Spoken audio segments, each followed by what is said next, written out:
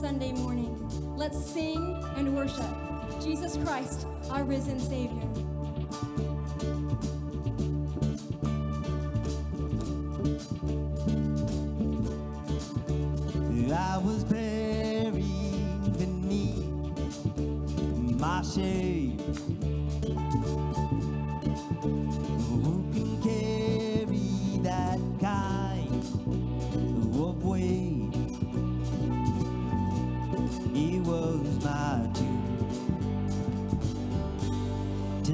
I.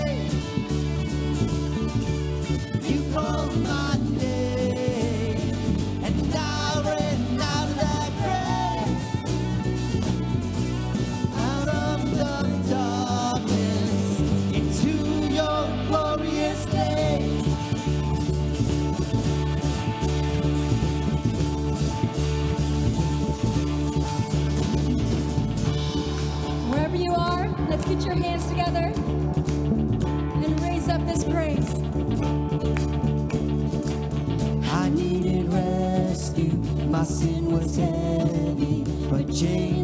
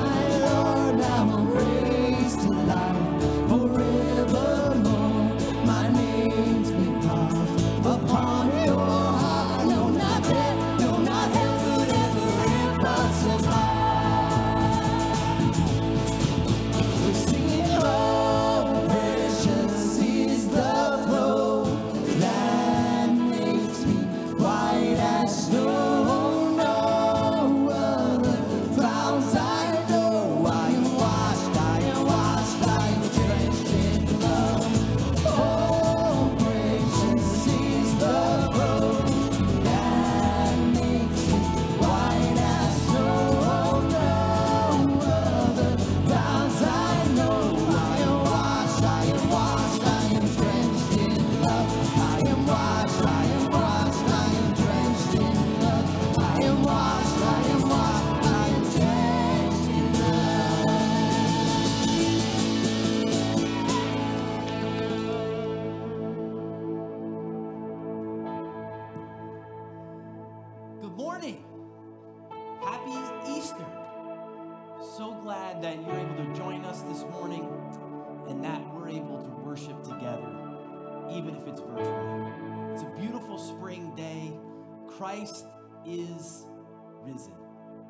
if you're new to NECC, we're so happy that you joined us today. We'd love to hear from you. So maybe message us on Facebook or Instagram. Let us know you're joining us this morning. We sure appreciate your faithfulness in giving as we're going through these challenging times. Remember that you can give online on our website. Just go to the menu, drop down, then hit click or click on give, and then that'll take you right to where you can donate. You can also donate via auto draft. Uh, you can send uh, email or snail mail to the church uh, with donations as well. So thank you for your giving. And of course, we always say this uh, within the context of as you are able. We know a lot of people are going through tough times, but as you give, enables us to be a blessing to others. In fact, this week, we were able to provide lunch for one of the local shelters here for all of their clients on Thursday, and that's because you give, and we have a Holy Spirit Fund. We've also been able to come alongside many others who've been struggling or had difficulty in this time. So thank you for your generosity. Also, I want you to remember to share your prayer needs with us. So, again, you can message us on social media or you can shoot an email to the church. Or if you want to go old fashioned, feel free to pick up that phone and give us a call. It'd be great to talk with you. We'd love to know about any needs you're aware of or any way we can partner with you in prayer. I'm going to be back in just a few minutes to share an Easter message, but I think Celeste has got some important stuff going on with kids' life. So, there in your home, kids, everybody, why don't you give Celeste a big hand?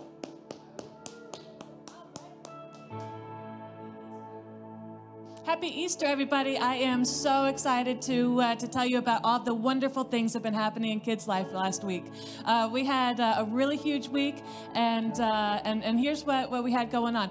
A few weeks ago, then, uh, then a whole bunch of the kids got together, and we stormed Five Below, and these kids went wild, uh, doing a shopping spree for Easter baskets for our neighbors in South Norwalk.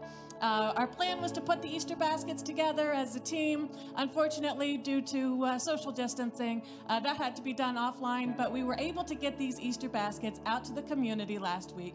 And uh, so I know that we made a whole bunch of kids really happy this morning. So, kids, great job choosing some fabulous gifts for those Easter baskets. Uh, they certainly came together wonderful. Uh, the next thing that, that we had going on last week, I've been asking you guys to do crafts for the nursing home over in Wilton, and we had a huge drop off of crafts and cards and all sorts of fun stuff last week. And so those residents are going to be enjoying those things this morning and getting a little bit of Easter love uh, in, in their time of, of being socially isolated. So, so that's really wonderful. You guys did a great job with that. The last thing is we had some Zoom conferences this week, and I got to see your beautiful faces, and we had a lot of fun. We had a, a um, a devotional together and we played some games and, and everybody who joined me we had a really great time so i look forward to doing that again with you this week so we've got four things going on kids life this week number one uh, check out the email. I've got the uh, Bible story videos up for you. They're really good. You should check them out.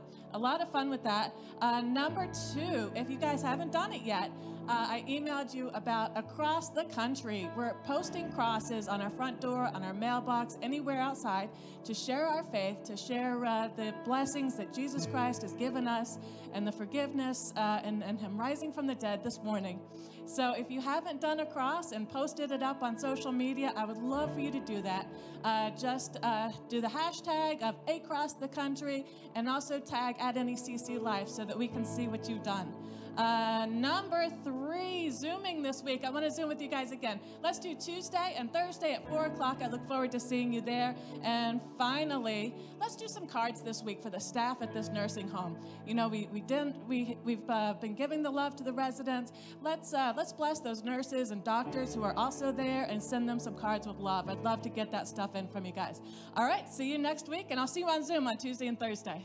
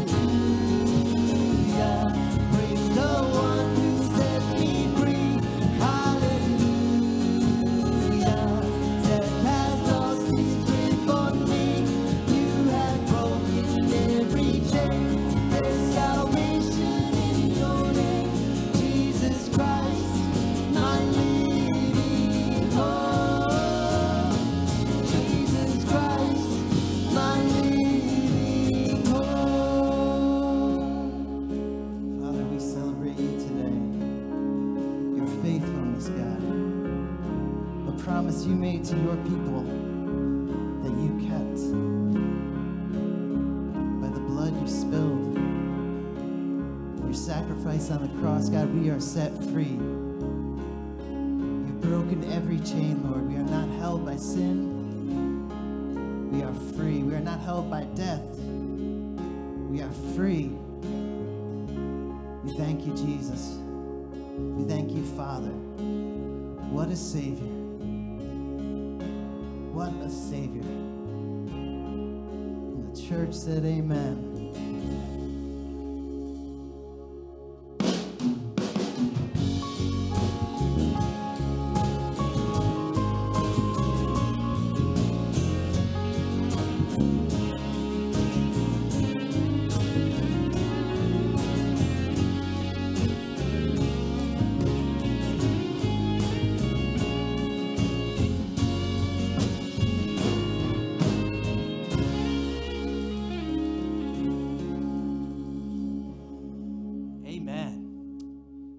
Have you said Happy Easter to the people you're there watching with in your home? Why don't you turn to them?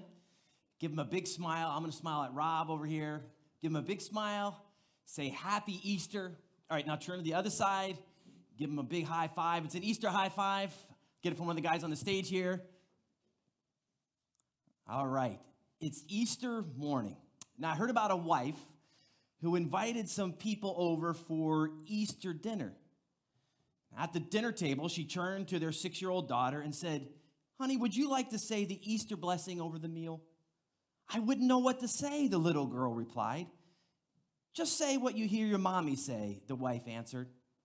So the daughter bowed her head, she paused, and then she said, Lord, why on earth did I invite all these people to dinner?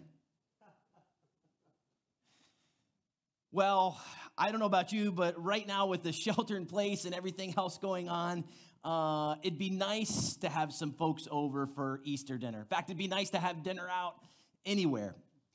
During these challenging times, it's good to remember some of those good dinners, some of those good times we've had. Maybe there's some times in life that you can remember that are almost too good to be true. Kind of pinch me moments. Like, is this really happening? So, just again, to make sure that you're still awake there in your home, lightly and gently, just reach to the person next to you, give them a little pinch, say, Hey, are you awake? You with me this Easter? Pinch the person there. Pinch me moments happen in our life. I remember my engagement night with Roxanne. And some of you maybe heard me talk about this, but it's been over 21 years ago. Can you believe that? Over 21 years ago. And Roxanne had flown in from the Phoenix area where she was living to where I was there in Southern California at the time. And uh, I had set up this kind of elaborate plan with dinner, all this great stuff. And uh, the night came, and we're driving to the restaurant. And as we're driving, uh, we were holding hands uh, on the way. And Roxanne is talking to me, and she's like, Thomas, why are your hands so sweaty? What's going on? Well, I, I didn't want to reveal it to her, but I was very nervous because I thought she was going to say yes, but I wasn't 100% sure. And if you know Roxanne, you know she can be a little unpredictable. So I was pretty sure she was going to say yes, but I wasn't 100% sure how this night was going to end. So I was pretty nervous about asking. So we finally arrived at the La Costa Resort there where we were going to have uh, the special dinner that night. And I made up my mind that I was going to propose to her before dinner. I'm like, if I'm paying this much for a meal, I'm at least gonna be able to relax and enjoy it and eat the food, and not being so nervous. So I had set it all up at the restaurant in advance, and we, they took us over to this kind of special place with a great overlook. And uh, she's sitting there relaxed on the settee. For those of you, that's a couch. And uh, the moment the time came, I could see people kind of watching to help others in the restaurant. I got down one on knee and I asked her, and she said yes. No, I should say like this, and she said yes. And for me, that was kind of a pinch me moment. I could think of other kind of pinch me moments. The birth of our four children was one of those moments like, wow, this is just amazing. Is this really real? I remember the 1986 Mets World Series win. Come here, somebody. Woo, woo. That was a pinch me moment when I was a kid. I couldn't believe they won that series. I couldn't believe they won game six and then went on to win it. Of course, the Giants winning the Super Bowls, uh, especially in 2008 when they came back and won over the undefeated Patriots. Sorry, Patriots fans, to bring that memory on Easter morning, but that was a pinch me moment for me. I remember in the fourth quarter, I couldn't believe it was happening. It was a miracle. And of course, when the Knicks even win a game, that's a pinch me moment we all celebrate. And uh, as you can see, a lot of my uh, pinch me moments are sports related. I'm really missing sports right now. We have no sports going on. Um, relying on you know table football or other things to uh, to occupy. But you've probably had some pinch me moments in your life. So real quick, in like three words, turn to the person, look at them, and say, "Hey, this was a pinch me moment I had." One, two, three, go. Share with them a pinch me moment you've had in your life. The first thing that came to your mind. All right, well, this morning, today on Easter, we celebrate the ultimate pinch me moment in history the resurrection of Jesus Christ. And when it happened, the disciples, after they came to, began to realize that this was something that would change the world forever. So, the story of Jesus' resurrection is either the most outrageous case of kind of mass hysteria that has ever happened, or it is the truest story that has ever been told. What we celebrate today, the life, the death, and then the resurrection of Jesus, did absolutely change everything for us. When he died and rose again three days later, it reversed the centuries old curse that had been upon humanity. Death was no longer in charge, that Christ had overcome sin and death, reconciling us to God and restoring the eternal life that God had always wanted for his people. So, your view of the resurrection, your view of what we celebrate today, your view of Jesus Christ himself will greatly impact your prayers. It will greatly impact, in fact, every area of your life. So, you remember we're in this series we've been walking through during this time of COVID 19 and coronavirus. How do we go to God? How do we talk to Him? And we're in the series when God's people pray. And we've been focusing on Paul's prayers and writings for the early church. Now, remember, prayers aren't just empty words hurled at the sky, they're conversations, conversations with God. And in fact, they're the most important conversations we have in our life. So, we're going to look at Paul's writing in Colossians chapter 1 when he talks to them about who Jesus is and then we're going to look at how does this then impact us when we pray. So if you've got your Bible, if you've got a note card, you're going to use a device or whatever, turn there with me now if you will. Colossians chapter 1 verse 9. Colossians was written by this guy named Paul who was a leader in the early church. He wrote a, a majority of the New Testament. And he writes to us in Colossians chapter 1, beginning verse 9. For in him, this is Jesus he's talking about, for in Jesus the whole fullness of deity dwells bodily. This means that the sum total of the essence of God, all he is, all his being, all his attributes are in Christ. And that in Christ there's no additions, no add ons needed. This is a basic truth of the Christian faith it's a basic truth that we celebrate on a day like today, Easter, that Jesus was God, fully present in human history, fully God and fully man. Jesus didn't just possess a portion of God's attributes. He can't be lumped together with other spiritual beings or angels or any other forces. He is our source of all truth and strength and hope and salvation. For in him dwells the fullness of the deity. But Paul doesn't stop there. Look at the next verse, verse 10, and he says, And you, nudge your neighbor, say, Hey, and you, and you have been filled in him who is the head of all rule and authority. You and I have been filled in him. We're sinners to be sure, but we've been given fullness through what Christ has done on our behalf through Christ willingly giving himself and then resurrecting, we have been given fullness. In other words, you become a partaker in God's very nature through Christ. We have the fullness that God wants for every human being, and it comes through Christ. So Paul's saying here stop looking around for fulfillment in other things and anyone else. You have Christ you have everything you need in Christ if you'll just turn to Him. So when you pray, you know that you're going the one where you can find everything you need, even the fullness for that emptiness or that shame or those places in your heart that seem like they're broken. Christ can come right in there and bring fullness and abundance. Skip down the same chapter to verse 12. Paul writes, having been buried with him in baptism, in which you were also raised with him through faith and the powerful working of God who raised him from the dead. Paul says here that we can experience in Christ the new covenant. New covenant just simply means this new agreement or this new way of being with God. We can be forgiven and reconciled to God by embracing the work of Christ on the cross and believing in his resurrection. Paul says we are then together with Christ through faith. We are then raised to life and newness of life in him. That's what the sacrament of baptism represents that we are buried with Christ and raised to newness in life with him. So Paul is saying basically whatever happens to Christ when you're in him happens to you. So when God sees you, when you're in Christ, he sees Christ and your sins are wiped away and forgiven. I love the next verse, verse 13.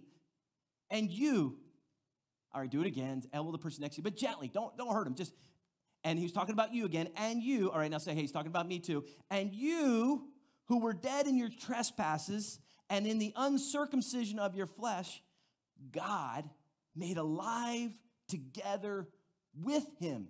God made alive together with Jesus, having forgiven us all our trespasses. Paul says we were dead in our sins. How many of you know that if you're dead, you can absolutely do nothing to help yourself? There's absolutely nothing you can do. You're totally relying on someone else, their power, their life to come into you. Paul says, We were dead in our sins, totally stuck, doomed without hope. But through the love and life giving message of Jesus Christ that comes to us on Easter morning, we can receive and experience forgiveness. Forgiveness for everything that once alienated us or kept us from God. When Christ died and rose again, he atoned for all our sin. Not just a portion, not just some, not just a pick and choose kind of thing, but he gave himself for it all. And in Christ, this morning, you can find freedom, you can find forgiveness. You can be released from condemnation of your sin, whether it's past, whether it's something you're presently struggling with, or even if it's things in the future that might come and tempt you. You can be released from it through Christ. This morning we celebrate, as Paul said, that through Christ we are truly made alive in God. That as His forgiveness comes, as His kindness comes into our life, as we receive and believe in Him, then we are made truly alive. This is that same idea of experiencing His fullness. Jesus promised us, He said, I've come that you may have life and have it to the full. Paul says right here in this verse that we're made alive. Notice the next verse, next word, together with him. That we are together with Christ because of what he has done for us. Now, Paul continues. Hey, that's a good pinch me moment. Think about it. If you're if you're if you're made alive with Christ, just pinch your person next to you and say, "You're made alive in Christ." That is surreal. That's unbelievable that we are together with Christ. Now he, he continues in the next verse, verse 14. He says it's done by canceling the record of debt that stood against us with its legal, so rightful demands. This he set aside, nailing it to the cross. Paul's just elaborating on what he's been talking to us about here. And he says, he describes kind of this cancellation of debts. Now, we, we can all relate to, to debts and what that means and the legal obligation to pay them. This context here in these days, the, the financial obligations would be written on parchment. So it wasn't stored in a computer somewhere, you know, something else. It was usually on parchment. And that parchment, if there was a debt, there was an agreement, it was possible for that parchment to be washed off and made clean, or all the debt that was there be erased. That's literally what Paul's saying here as he's writing these words. It's really, he's saying, and there was an IOU. You had a debt by the way, a debt that you or I couldn't pay, but we had a debt that was legally owed. It was an obligation that was ours. But that because of Christ and his blood shed on the cross, and because of Easter Sunday morning, our debt has been completely erased. It's been wiped away. Those indictments that stood against us are totally and forever obliterated. It is finished. In fact, those are the exact words Jesus said on the cross It is finished.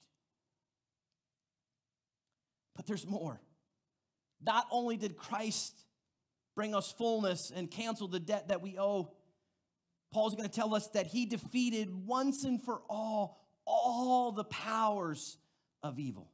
In this last verse, verse 15, Paul is describing what was going on behind the scenes on Easter weekend.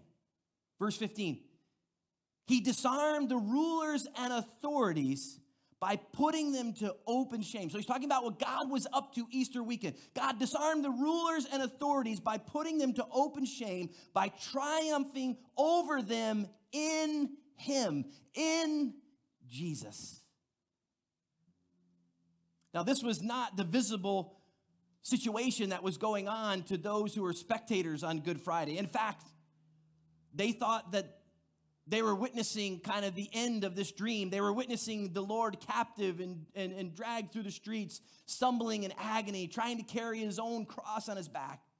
He was spit on, condemned, and it looked like there was no hope whatsoever. But Paul says here that's not the case. What was actually happening it was the enemy was being disarmed.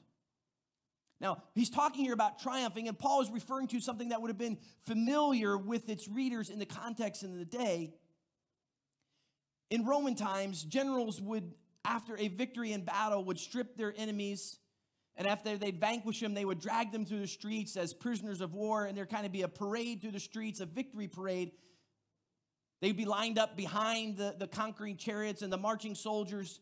Paul's listeners were familiar kind of with this triumph, with this victory, of what would happen in the natural. Paul's making this parallel to what was going on in the spiritual realm on Easter weekend that God, through Christ, was triumphing over all evil, over all sin, over all sickness, over all defeat, depression, whatever you want to say. Christ was triumphing over because of his love for you and for me. This is what was happening in the cosmic realms on that first Easter weekend. It looked like Jesus was defeated, looked like he was a public spectacle. What looked like was a huge win for evil and for the enemy actually turned out to be the enemy's absolute demise. And God triumphed once and for all through Christ. This morning, Christ is risen. All the evil forces and powers and authorities have been disarmed and disgraced by him. And he now sits at the right hand of the Father. I love how the writer in Hebrews describes Christ now that he's in heaven. Hebrews chapter 4, looking at verse 14. So then, since we have a great high priest who entered heaven, Jesus, the Son of God, let us hold firmly to what we believe. Don't doubt, even when things get tough, when things are struggles, hold firmly to what you believe. Next verse the high priest of ours understands our weaknesses. Listen, for he faced all the same testings we do, yet he did not sin. So, verse 16 says, Let us come boldly to the throne of our gracious God. Let me say that again. So, verse 16 says, Let us come boldly to the throne of our gracious God. There we will receive his mercy and we will find grace to help us when we need it most. Man, when God's people pray, when you and I pray, we can come boldly to the throne of our gracious God because of Jesus and his victory on Easter Sunday morning. Can I get a shout of amen there in your home? You guys can shout amen here too. We can come boldly because of Christ. Now, think about this. Uh, uh when you go to your house, you walk in if you're a child or if you're uh, the owner of the home, you just go in and you, let's use the refrigerator for an analogy. You go in and you go to your refrigerator and it's your house. You're a part of it, so you just go and kind of get what you want out of the cabinet. You eat whatever it might be. When I go home to my parents' house and I go in, I do whatever, I'm not timid. If I want to go to the refrigerator, I go to the refrigerator, open it up. Hey, what can I grab? What can I eat? I don't worry about it. I don't think about it because I am their son. I am their child. I can go boldly into that home and just grab whatever I want because it's mine. I'm an heir. It's part of, I can partic- uh, participate and receive it because I'm a child of theirs. So it is, Paul saying, when we approach God, we can come boldly because you are his child. I don't know if there's a refrigerator in heaven, but you can open it up and grab whatever you need. You can talk to God about whatever's on your heart. Because of Christ, you can go boldly to God. Because of Christ, we can go boldly and receive his mercy and find grace, Paul says. I love that last line grace for when we need it most. You might be at a place right now in the midst of this chaos and isolation, all the changes that have occurred, where you just simply need some grace. I want you to know you can go to your gracious God. You can open it right up. You can go right in there and say, Hey, God, I need some grace. And He will respond because He loves you and you are His child. I know I could sure use some grace right about now. And because of Jesus and His resurrection, we can find it. Because of Jesus and His resurrection, we who were dead are now alive. We were lost and now we're found. We lack nothing if we are in Christ. When your plans fall apart, you're left with that hopeless feeling. You can come boldly to Christ because He is risen. You're facing testings or challenges like this coronavirus, things that are kind of beyond your imagination, you can come boldly to your gracious God when we lose loved ones or family or feeling the pain of grief, we can come boldly before God in prayer. And even when we disappoint God or we discourage or disobey, we can receive God's forgiveness. We can come boldly, Paul says, and receive his mercy because Christ is risen. We are raised with him to walk fully alive in the newness that He has for us. My friends, this Easter, I want you to know Christ is risen. And when you pray, you can come boldly to your gracious Would you bow your head now? Let's just pause here for a moment whatever it is that comes to your heart and mind, would you just pray along with me?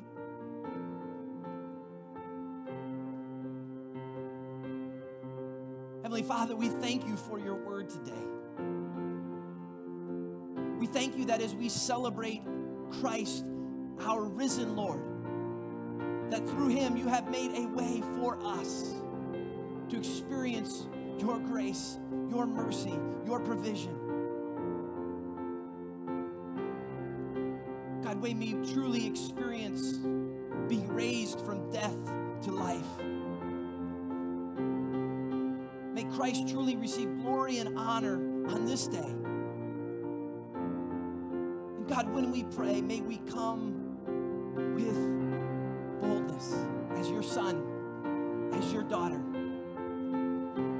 knowing that you have given us all we need through Christ. And it's to him we look today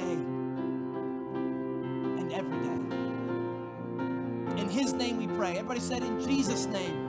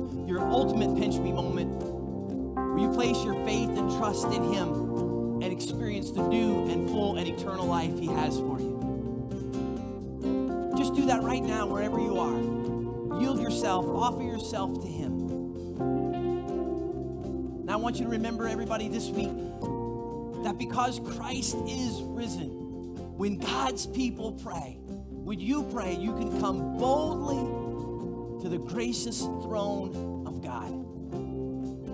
And He will meet you right there. God bless you. Happy Easter. We'll see you again in a few days.